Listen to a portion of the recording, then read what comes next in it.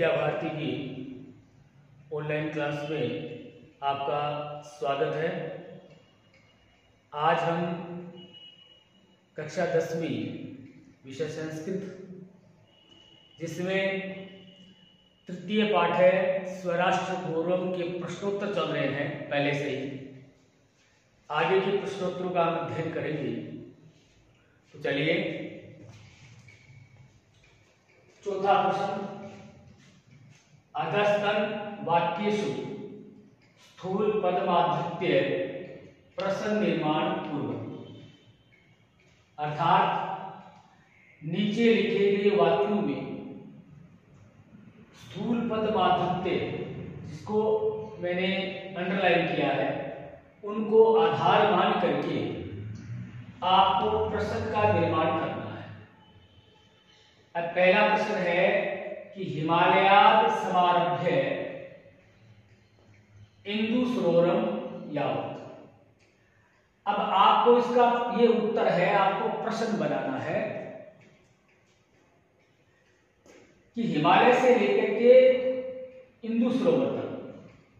तो हिमालय के स्थान पर आपको प्रश्न का निर्माण करना है हिमालय को आधार मान करके।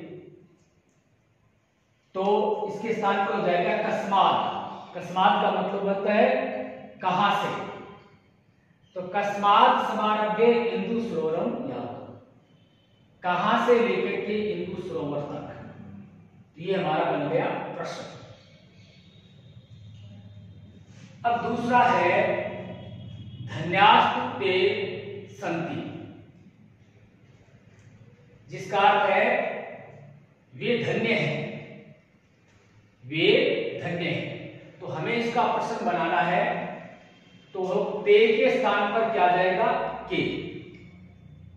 तो धन्यास्तु के संधि अर्थात कौन धन्य है? तो प्रश्न हो गया, कौन धन्य है? अब है तीसरा। मैंने रोचते। मुझे अच्छा नहीं लगता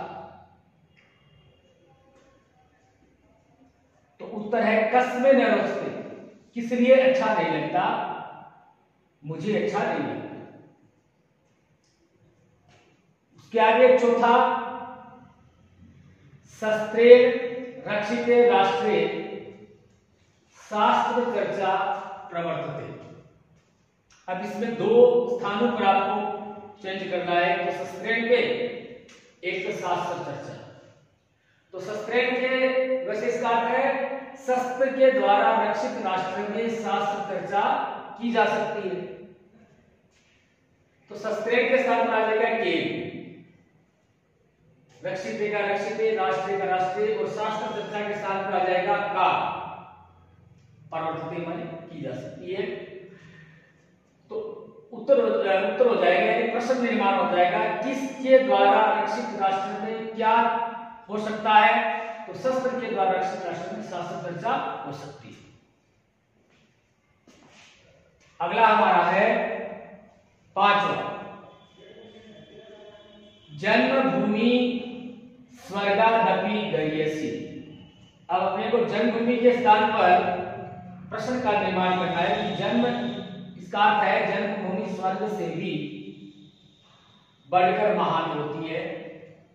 तो जन्मभूमि के स्थान पर निर्माण करना है तो का स्वर्गादपि जाएगा। का मानी? क्या?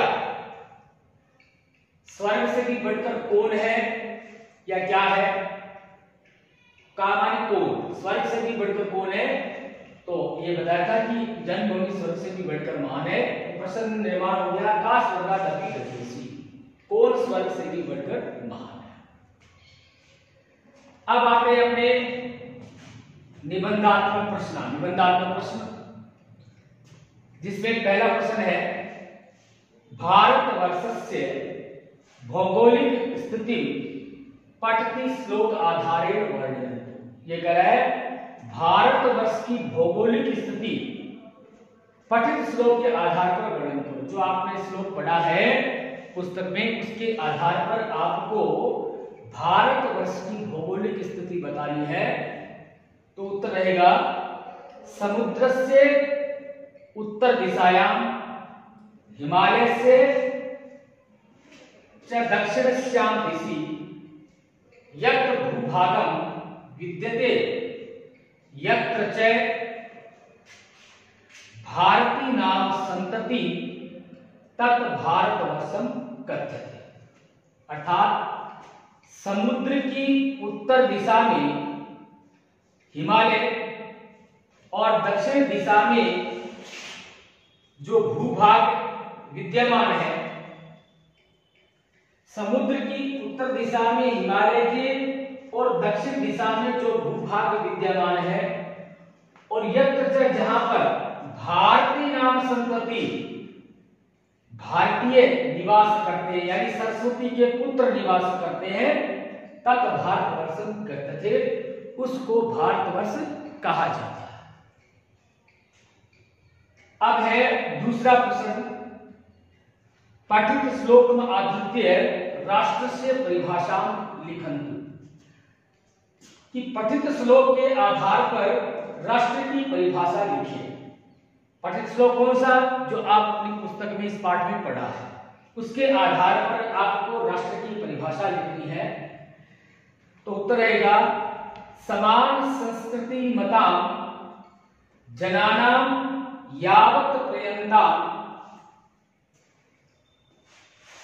पेत्रिकम पवित्रम च भूमि वर्तते, तावत पर्यंताम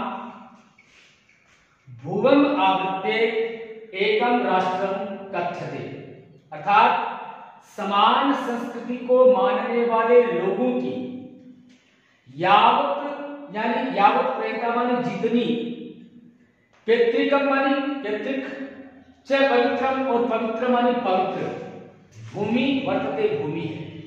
अर्थात समान संस्कृति को मानने वाले लोगों की जितनी पैतृक और पवित्र भूमि है, तावत पर्यंताम उतनी भूमि को ढक करके या घेर करके एक राष्ट्र उतनी भूमि को ढककर आवृत्ते माने घेर कर या ढककर उतनी भूमि को घेर कर एक राष्ट्र कहा जाता है। यानी समान संस्कृति को मानने वाले लोगों की जितनी पैतृक और पवित्र भूमि है, उतनी भूमि को घेर कर एक राष्ट्र कहा जाता है।